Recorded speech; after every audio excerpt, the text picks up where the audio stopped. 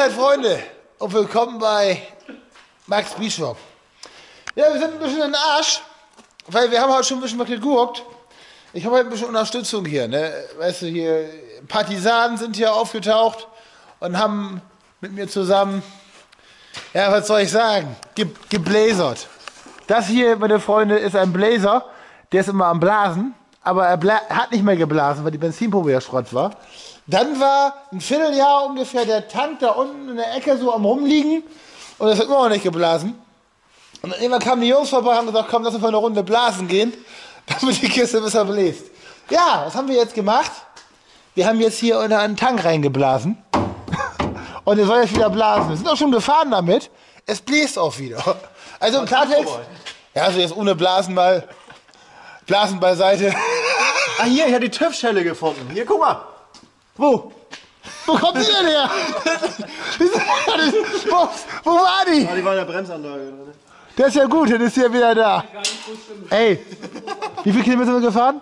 Was? Fünf? Sechs Kilometer? Jetzt Laden zurück, ne? Oh, die ist noch da, ne? Ja, Oh, immerhin. ja was, haben wir denn hier jetzt? Wir haben hier einen Chevy, wir haben jetzt einen Tank da wieder drin. Das Ding läuft, wir haben eine Benzinpumpe wieder eingebaut. Ja, wir haben eine gebastelt, die fast schon geiler ist als das Original. Auch adaptabel jetzt, das heißt, wir können die sogar noch umklemmen und so eine ganze Scheiße um. Das ist jetzt auf jeden Fall nicht mehr so ganz kopfzerbrechend, das Ding jetzt wieder zum Laufen zu kriegen. Und außen liegen dazwischen Ne? oder so. Ja, das haben wir natürlich noch nicht ganz fertig, wir haben einen Probelauf, wir haben den Tank auch nicht ganz festgeschraubt, weil so, so wäre es auf Dauer vielleicht ein bisschen problematisch geworden mit der Kiste.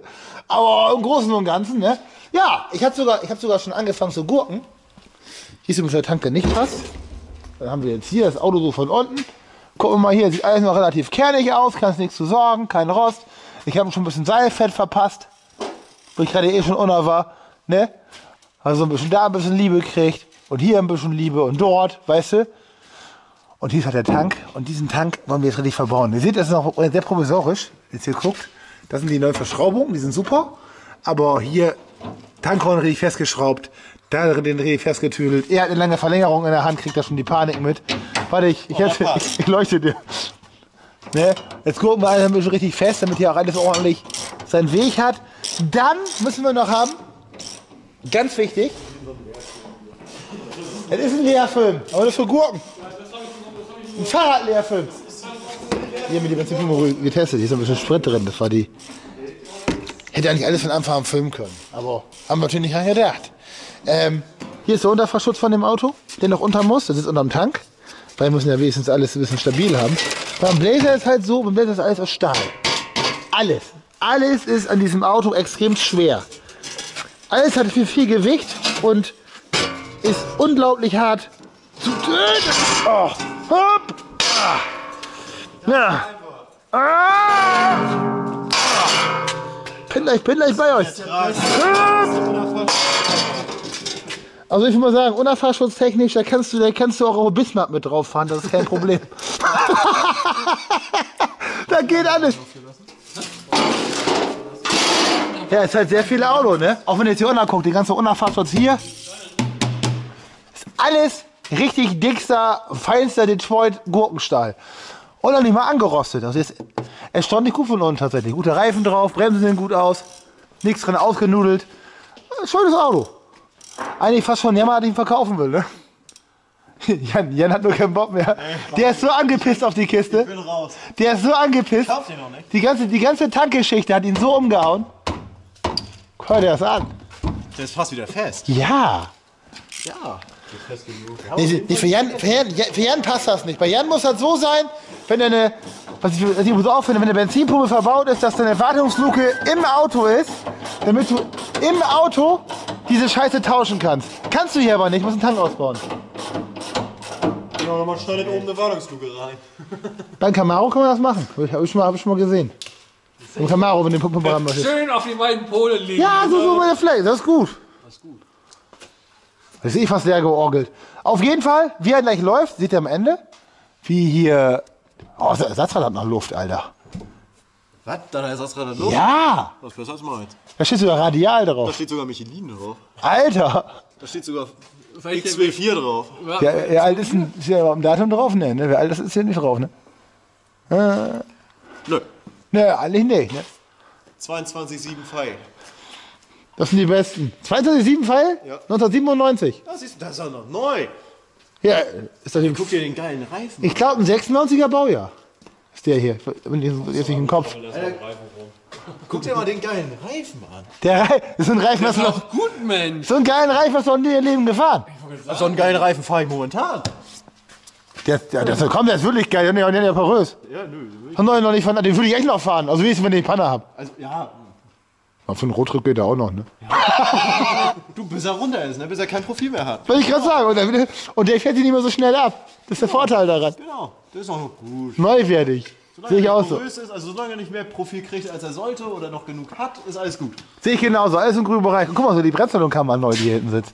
Bremsleitung, diese Bremsleitung rostfrei. Übrigens, glaube ich, selbes Prinzip wie Trabant, ne? Das ist Ja, mit- ja, mit so- hinten, links, rechts, fertig. Genau, mit Verteiler. Genau so ist es. Und irgendwo noch ein Druckmann da reingebaut. Kann man vorhin nicht sehen. Wahrscheinlich, gehen, ja, wahrscheinlich gehen die Bremsleitung wieder da lang, wo man die nicht sehen kann. Nicht über den Tank, weil sonst habe ich die gerade noch ganz schön umgespackst. Wollte ich gerade sagen. Deswegen ging das so schwer.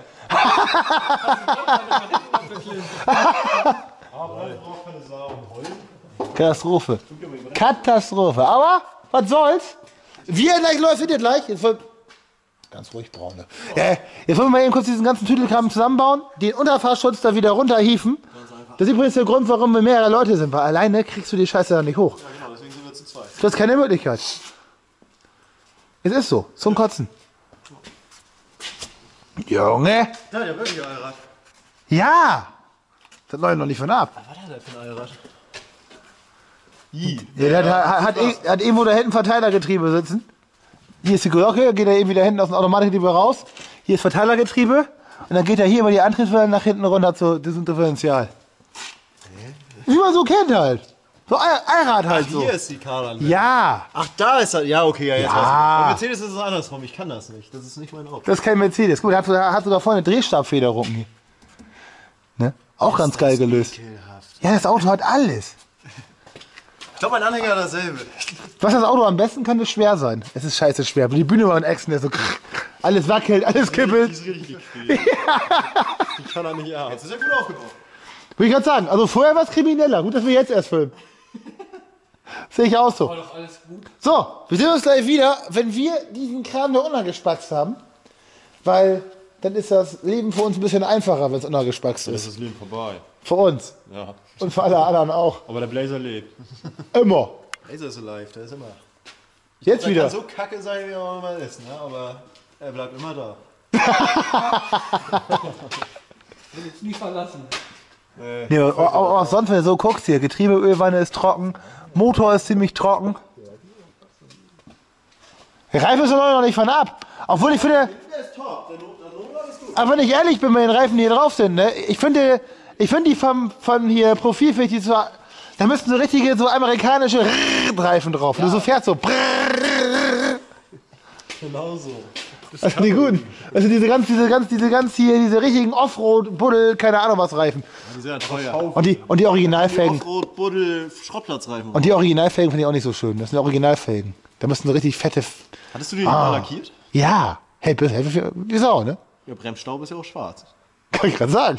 Das ist jetzt so kupferfarben, das ist fast hier. Das ist fast schon wieder Design. Weißt du, furchtbar ist? Morgen ist schon wieder Sonntag, ich kann nicht Auto waschen. Weil ich finde die natürlich gerne waschen.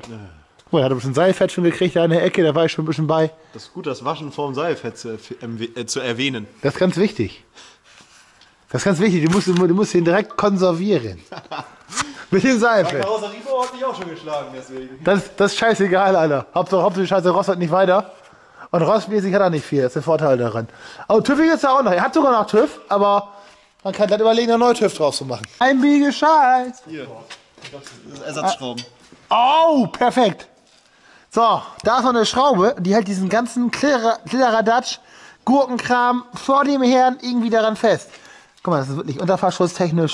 Da kannst du zwei rausmachen, ey. Oh, hier fehlt noch eine Schraube. Was? Ja, das ist wahrscheinlich die, die da Ich liegt. habe den Rest eigentlich weggeschmissen gerade. Oh. Da ist er schon angegurkt. Der auch, also der Tank, der kann nicht mehr abfallen. Der kann auch nicht kaputt gehen, weil mit den ganzen Klaus-Geschichten, die da unten dran sitzen, da kannst du drei Kläuse rausmachen. Oder mindestens einen Wilfried. Alter, krieg ich richtig Bauchschmerzen zu verkaufen. Ne? Oh, Differential trocken. Ich will nicht mehr, dass wir so eine gute Kiste kriegen. Im Leben nicht mehr. Er guckt eine Spring dir Scheiße. ins Genick. Gleich der Videotitel anders. Blazer wird doch nicht verkauft. Will ich doch nicht verkaufen, ja? Spring dir ins Genick, der kommt weg. Nee, der kommt nicht weg. Ich spreche ihn nur gut, aber der kommt weg. Nein, der ist gut.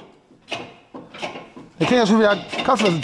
Hier ist Feuchti. Der fehlt mit dem Gummi. Oh, oh, mein schöner Platzer. Verlängerung? Du meinst, du meinst, es war anstrengend, ne? Das Problem ist, jede Arbeit, die du in diesem Auto machst, ist wie so eine LKW-Werkstatt, ne?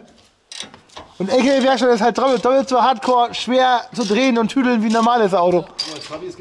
Ist ja auch ein LKW. Ja. Auch mal den festgegammelten Schrauben kann das sein, ne? Alter Schwede, aber es sieht echt tüffig aus, was sie gebaut haben, ne? Also tüffig auf jeden Fall. Und wenn die Scheiße dann noch funktioniert, dann ist recht. Schon wenn ich die Schraube hier schief reingewirkt habe. Das ist ein Schwachschrauber. Ah, die dreht sich aber gerade. Da siehst du. Das ist immer so. Aber mein Arm fällt gleich ab. Wie kann das denn sein? Immer, oh, und Arm fällt gleich ab. du musst, musst mir Ja, den dieses Gejammer oder hier noch das ganze Seilfett, was hier Kuschel, ist. kuschel ein bisschen mit den jemand Mühe Seil. gegeben. Kuschel ein bisschen mit den Seilfetten, gut ist das. Ich wechsle bei der Anziehscheiße, weil das hier, Der outgesourced. weil der outgesourced nach Indien. Ja. Bist du, kommst du aus Indien? Ja, natürlich. Ich, Oder, oder, Indien. oder fährst du in Indien? ich fahre in Indien. Ich spreche aus Indien. Ich komme aus Indien. Alter. Allein der, das cool. allein, aber allein, alleine, alleine der Unterfahrschutz von dem Auto, und ich will hier weggehen, das riecht glaube ich gleich, ähm, wiegt doch so viel wie ein Smart. Die Zwiebeln, da, die extra Zwiebeln haben reingehauen, ne? Guck mal, Magna Flo, da will ich nicht langlaufen. Da will ich nicht, da will ich nicht hin. Das möchte ich auf jeden Fall nicht. Und er ist immer noch am Drehen und sagt, oh komm, geh fest, du Scheiß, komm, geh fest. Besser ein Unterfahr als ein Überfahrschutz. Bist du sicher, dass der, der, der sich reinzieht? Jo, Rausziehen tut er sich wohl nicht. Nee, im Sinne Ganz von, sicher. dass sich einfach so los in die Gewinde dreht. Da haben wir noch mal Schräubchen, da haben wir noch mal Schräubchen. Und dann müsste der. Oh, pff, muss er weg. Äh, der war nicht schlecht. Der Dünner war echt nicht schlecht. Der Dünner war echt nicht schlecht, Aber der hat reingehauen. War schlecht für die Nase. Das stimmt. Der tat uns nicht gut. Was hat das hier eigentlich? Schießerei? Demnächst läuft in der Bläser Ah, Schießerei. Was wo? Und dann kennst Das du hier, Schießerei. Das ist Schießerei, ja. Das ist, das ist halt Karlbinder-Prinzip. Wenn du die Kennzeichen jahrelang an Ultramar anbringen musst, die aber keine Kennzeichenmulden haben, dann musst du mit Kabelbindern arbeiten. Und dann kriegst du halt 100.000 Löcher rein. Guck dir diesen Scheiß an, Mann. Das ist ja wie ein Auto. Jetzt müssen wir mal kurz gucken, ob wir diesen, die, die mittlere noch eben da rantüdeln. Dieses, die müsste das gewesen sein.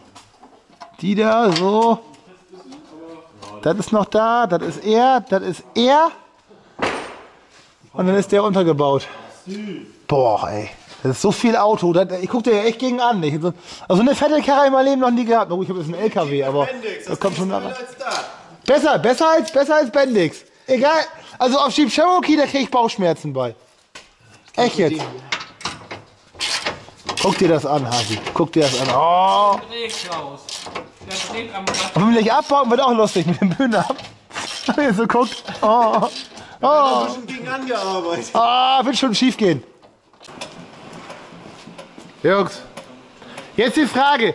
Jetzt haben wir diesen ganzen Mistdonner geschraubt, ne? Das ist meistens immer so der Klassiker, wenn wir das Ding anmachen, das funktioniert nicht mehr. Richtig. Was, mein, was? Ist immer so. Irgendwer haben wir noch immer. Was meint ihr? Läuft er jetzt? Ja, ja. Ich bin dafür. Ich auch. Ich sag nein. Sonst kommt noch Ace auf den Schrott. Genau, dann fährt er weg. Für immer. Oh. Bruder. Und noch, so eine, und noch so eine schöne leise Benzinpumpe, die mir macht wie die alte. Ja. Kann er wenigstens auf eigenen Rädern zu Udo fahren.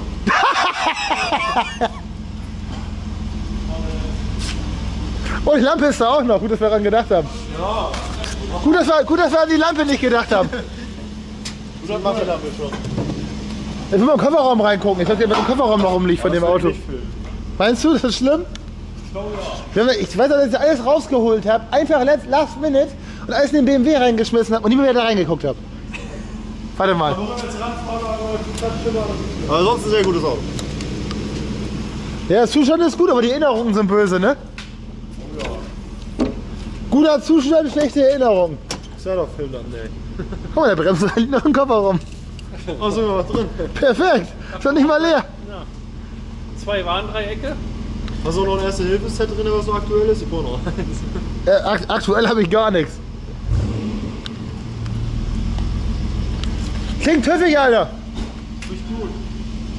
Klingt tüffig.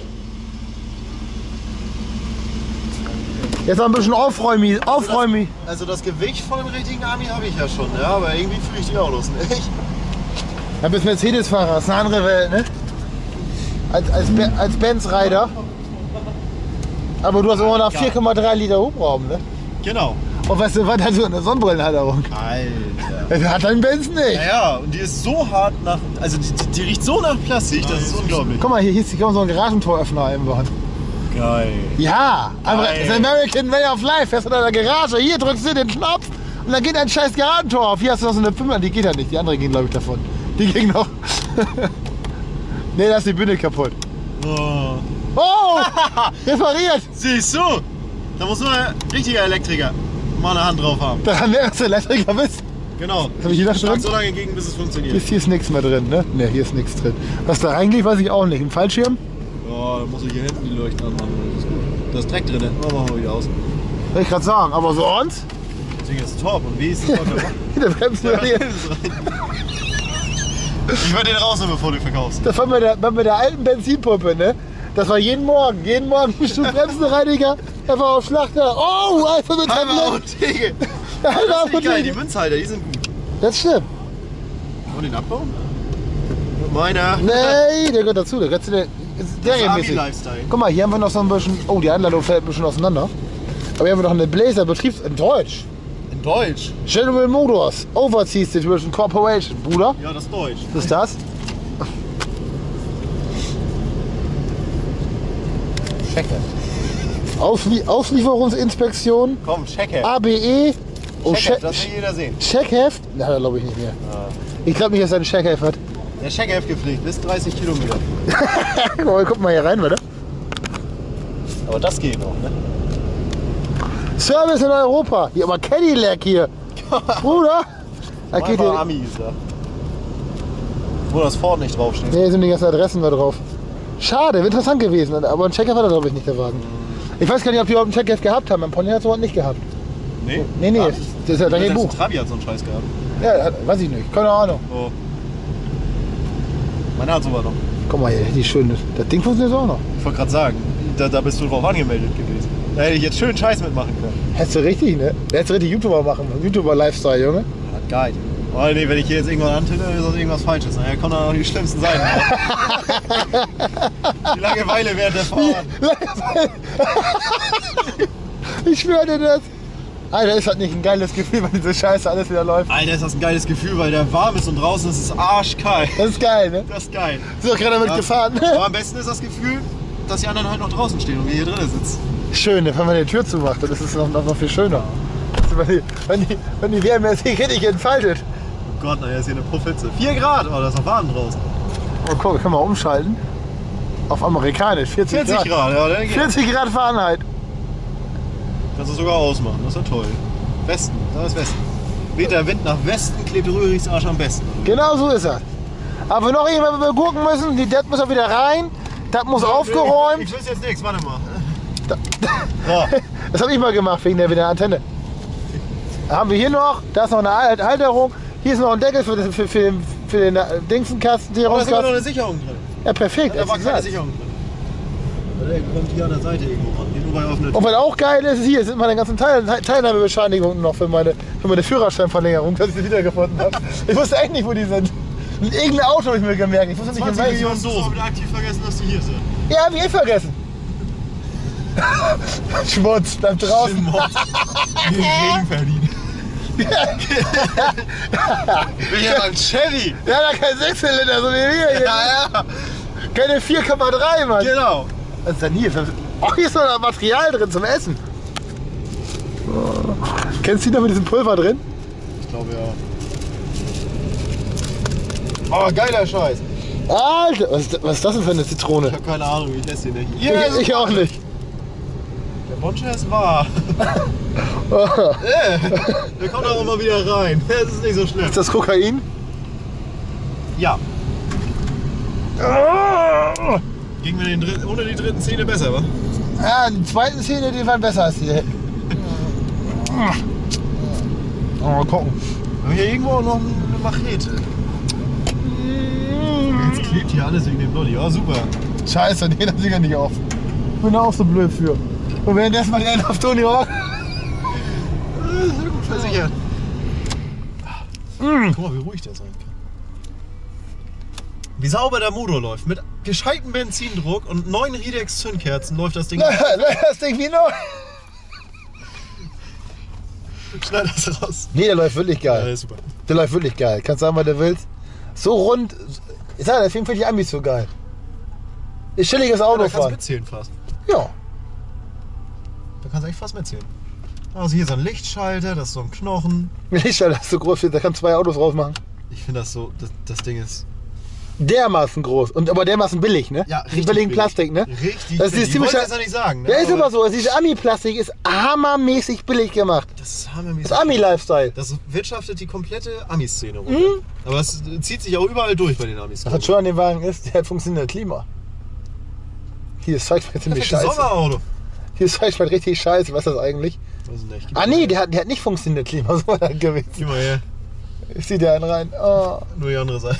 Ja, die, egal welche du nimmst, ist mir trotzdem scheiße. Das ist Zucker. Das muss er haben. Ja, das Die so. Tarobeleuchtung funktioniert nicht ganz. Was die? du hier eigentlich? Hey, die geht doch gut. Eine Birne ist kaputt, glaube ich. Nee, das ist original. Rechte Flanke Drehzahlmesser. Das ist original. Zeig mal einen anderen Blazer, Ja, wo das besser aussieht. Das muss den Scheiße drin Ich kann liegen. den 210er zeigen, wo es besser aussieht. Das stimmt. Aber den hast du nicht da, musst du ihm holen. Nee, nee, ich kann den Taro, äh, Trabi zeigen, wo das besser aussieht. Kann ich dir auch zeigen. Nee, Leute, aber so viel zum Thema Blazer. Nur eben, dass ihr wenigstens irgendwie im aktuellen Stand seid, dass der jetzt wieder läuft. Ähm, ja, weil sonst hätte ich es euch nicht zeigen können, ne?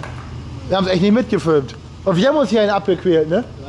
Er, er hat einen Sprit geduscht, die ganze, ganze Gesicht voll mit Sprit. Rannte, rannte heulend zum Waschbecken. Ist genug Karotten, meine Augen sind gut. Ja, aber ich habe komplett in Benzin geduscht, auch. Hab meine ganze, ich habe so eine Levi Strauß Jacke, hat meine Frau mir geschenkt. Die stinkt sauer auf mich, weil die ganze Jacke versaut ist. Ah, Katastrophe. Aber ist so. Aber krass. Hallo, klingt, klingt noch gesund. Dann warst du womit ich heute nach Hause fahre. Ja. Ja, der wird Probe geritten. Genau, mit dem Golf. mit dem Dreizylinder-Golf, mit dem Motorschaden. Der gute.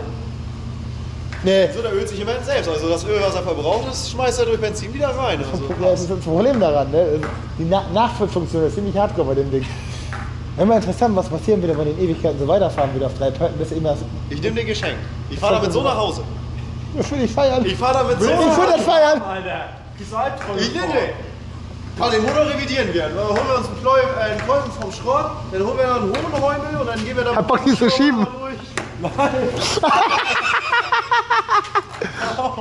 so, gut, wir machen jetzt, wir machen jetzt den Feierabend. Wenigstens ein Video. Das Ding läuft wieder. Ihr habt wenigstens ein Update und äh, besser als ein Schlecht-Date. Munter!